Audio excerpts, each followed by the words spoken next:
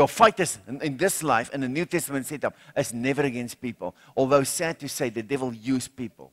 The devil used people. I mean, you see what the devil does to people.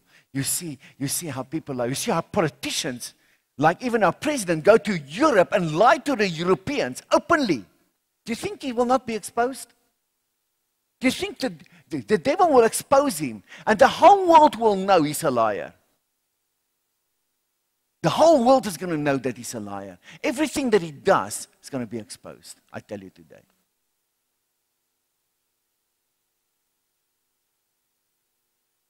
You know, our president, I call him president. I'm not like other, that like other uh, political opponents that call him by name. I call him as a president because he is a president.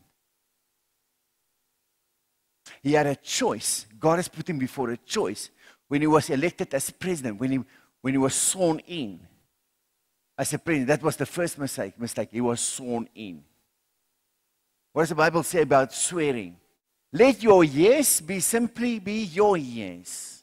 Let your no be simply be no. Whatsoever is more than these is of the devil. O gods.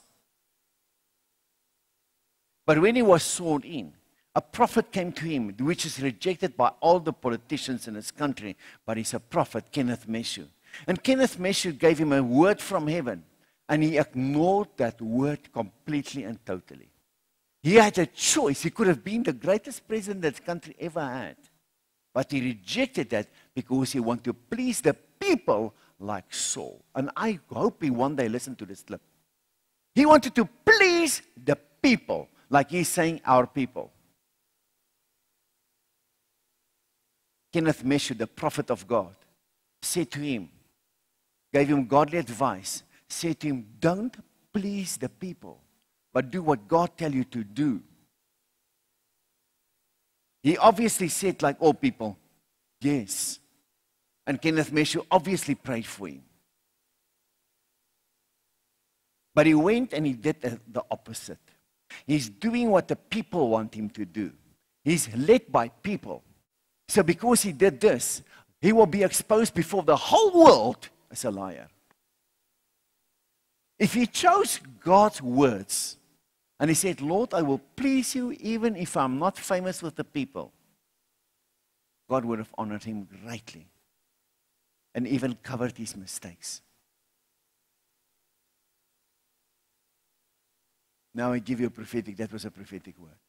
He will be exposed. He's trying to cover up his mistakes by going to Europe and like these other guys went to America, he's going to Europe. Pray, Lord God of heaven, I thank you for your mercy. Thank you for your grace. In the name of Jesus. Amen. For any man, there's a turning point, even for him. If he repent today, God will help him. May you hear this in Jesus' name. What happened to Saul when he wanted to please the people? The kingdom was taken away from him and was given to another man. His name is David. I'm prophesying to you now, the prophecy. The kingdom was taken away from him and given to another man that was prepared, a man, David. That God said about him, I found a man, I found a man who would do anything that I want him to do. The kingdom will be taken away from him and given to another man that will do anything that God wants him to do in Jesus' name.